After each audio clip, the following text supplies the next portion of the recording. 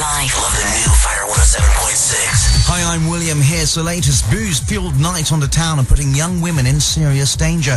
More than a third claim to have been the victim of a sex assault while drunk, and nearly a fifth say they've hurt themselves in the past. These people in Bournemouth realise alcohol can cloud their judgment. Women drink a lot more than what they really should be. I think they just need to watch how much they drink and how careful they are out in the streets. People that do that should be locked up, and that should be the end of it. I mean, poor girls, they end up done nothing wrong, have they? A lot of girls walk home after a night out, and even though there's a big load of taxis there, they still go home by themselves. Fire 107.6. It's Tony Blair's big day at the Labour conference. He takes centre stage in Brighton with what could be his last speech to delegates as Prime Minister. A man's in hospital after a break-in at a Bournemouth hotel. Justin's been following the story. Yeah, William, it's happened at the Double Four Hotel in St Michael's Road. Now, two men in their 20s entered the property and threatened a man and a woman. He was slashed on his side with some sort of blade and he's got face and chest injuries. The woman was punched in the face. Now, it all happened at 1am yesterday morning and the man is still in hospital today.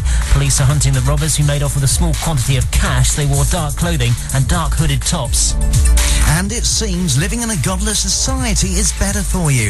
A study says countries such as Japan, France and Scandinavia have very low rates of murder, early mortality and even abortion. In contrast, the highly religious US is the opposite.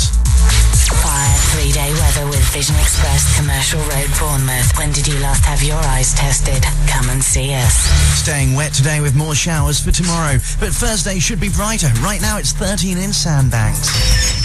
That's the latest. Have your say. Text us on 81800. Start your message. Fire News. You've got you've got this winking thing going on, haven't you? You see, you're winking at me, but I, the people of Bournemouth and Paul, they can't appreciate it. Can you say wink on radio? You can say wink, but you can't say wink every time. Don't what say we need it. To do, what, what we need to do. I better not change the I for the A. Uh, what we need to do. That's my job. That's right.